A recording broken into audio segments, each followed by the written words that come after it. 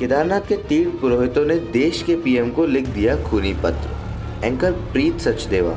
विश्व विख्यात ग्यारह ज्योतिर्लिंग केदारनाथ धाम के तीर्थ पुरोहितों का देव स्थानम के विरोध में दो साल से चल रहा आंदोलन अब तेज होता जा रहा है।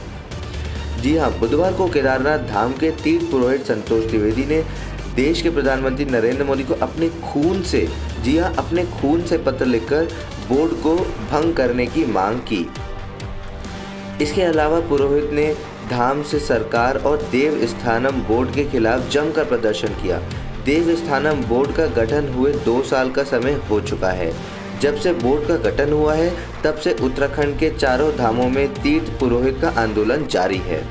केदारनाथ धाम में विगत दो माह पूर्व बोर्ड के विरोध में सात दिन तक शीर्षन आंदोलन करने वाले अखिल भारतीय तीर्थ पुरोहित समाज के युवा राष्ट्र उपाध्यक्ष आचार्य संतोष त्रिवेदी ने बुधवार को अपने खून से लिखा पत्र देश के प्रधानमंत्री नरेंद्र मोदी को भेजा है।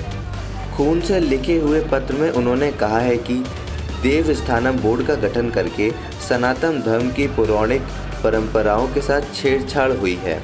विगत दो वर्षों से उत्तराखंड के चारों धाम के तीर्थ पुरोहित का बोर्ड के खिलाफ आंदोलन जारी है।